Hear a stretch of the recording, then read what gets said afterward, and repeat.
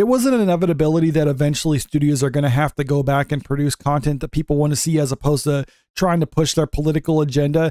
They're able to stave off the losses for some time by residual money that they had at the studio and also having companies like BlackRock offset some of their losses. But that DEI money is eventually going to dry up and then these studios are going to have to perform on their own. Some of them are probably going to get the picture, other ones not so much. But if they want to actually stay afloat, they're going to have to produce content that people want to see. And that's where these latest rumors are coming out from that Park Place. The headline Marvel Studios cleaned house and fired activist producers.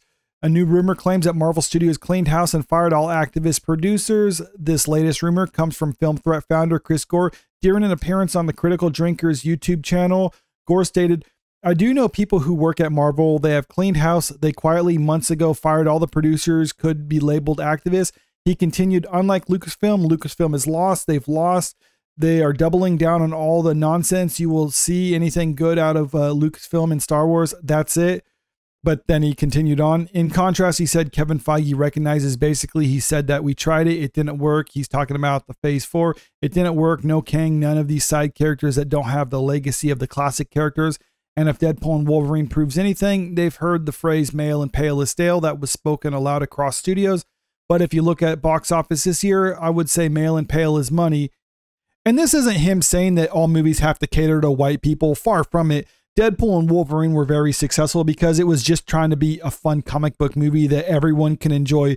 Contrast that with movies like the Marvels, where they're trying to almost demonize men in order to prop up females because they're trying to cater to a female demographic. And that doesn't seem like a smart strategy, even on the surface when you're thinking about it. When they're spending that much money on a movie, you would think that the studio would try to attract as much people as possible to the theaters. But you don't do that when you're trying to demonize a large segment of the audience. Some people might point to Barbie as an example too. It's like, well, they demonize men, right? Well, not if you actually watch the movie. In fact, they actually made the men look pretty good. Uh, Ken is the standout star of that type of movie. Well, I don't know if that was necessarily intentional or unintentional on the part of the filmmakers. I'll give Greta Gerwig a little bit of credit and say that was kind of intentional. And a lot of people who didn't understand that, it kind of went over their head. But still, that movie, the fact that it did so well has to do with they're actually trying to do something that appeals to everyone. When you get something like the Marvels, where it's only trying to appeal to a small segment of the audience, well, then you're going to get met with failure. Something like Deadpool and Wolverine, everyone enjoys that. There's something for everyone. As a result, that movie is doing really good.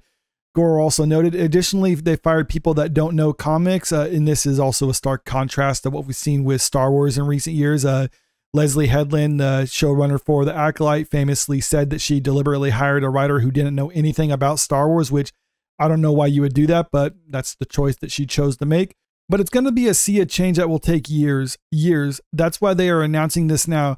We know we screwed up and failed, but look at what's coming. So we're going to get two bad movies, two bad TV shows, and maybe a good Fantastic Four film.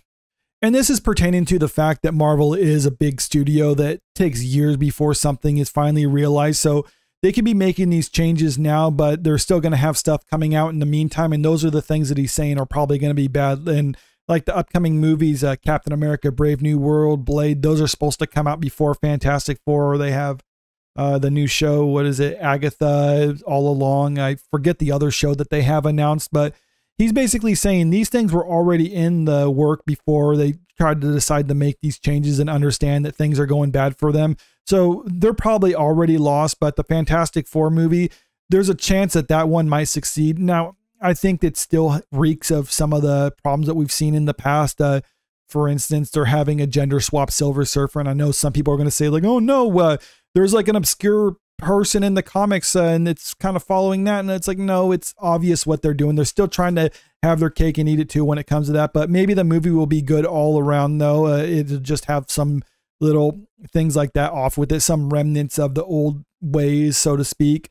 And some people might be thinking it's like well what about deadpool and wolverine? Because that just came out and that was really good right? Well you got to understand though that was in a way kind of separate from what we've seen in the mcu because it's not like Kevin Feige and like a lot of his people at Marvel Studios had a lot of say so in that. It was basically Ryan Reynolds and Shawn Levy were given free rein to kind of do what they want in that movie. That's why they're so freely poking fun at Marvel and other things like that. Obviously, the studio could have interjected and kind of gotten in the way of that, but I think they started to understand like, no, we'll just let them do what they want. And that's why that movie was successful.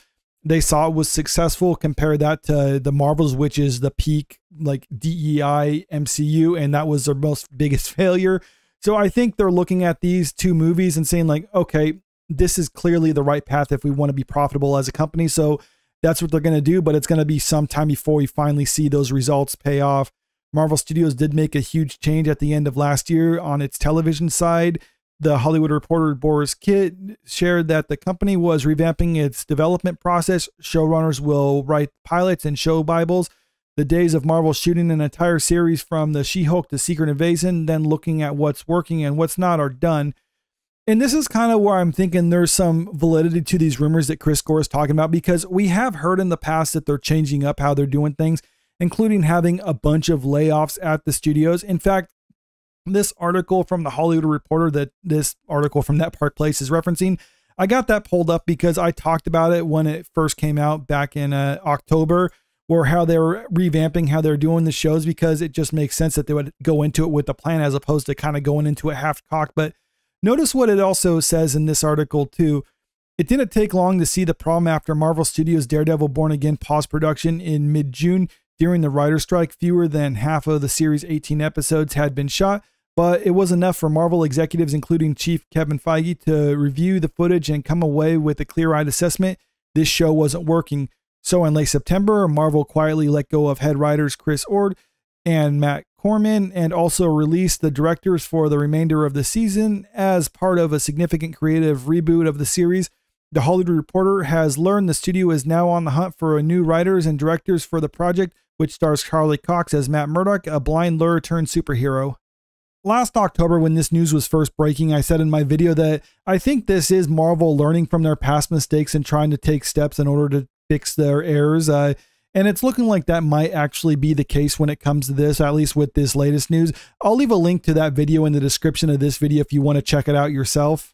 As far as what Chris Gore is saying about how they're getting rid of a lot of the activists, it really does seem to kind of coincide with what we do know happening at Marvel with them firing a lot of people. Deadpool and Wolverine showed a self awareness where it looks like they're willing to acknowledge at the bare minimum that there has been problems with the MCU in recent years. And once we see how bad movies like the Marvels did, there's really no denying it that if they want to make money, they have to stop demonizing their biggest demographic, which is honestly white men. And I, like I said before, I don't even think it's necessarily that they have to make movies for white men.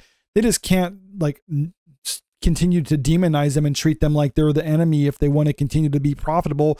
And I'm hoping this is going to be something that we see moving forward and that they're just going back to making comic book movies that people enjoy. They're not trying to push an agenda or prop up one group by demonizing another group. Just make something fun that everyone can enjoy and we'll have good movies. They'll make money. Everyone wins. Or they can continue on with how we're seeing with Lucasfilm and Star Wars, where they're making something to try to prove a point. and all the while people are just upset, don't want to watch it, and they're going to lose money. Take your pick, Marvel. Which path do you want to go down? But let me know what you think about all this in the comment section below. And also, if you haven't already, make sure you click that subscribe button if you want to stay up to date with the latest entertainment news. And if you don't mind, click that like button and share the video out there because it really helps out with the channel. Thank you.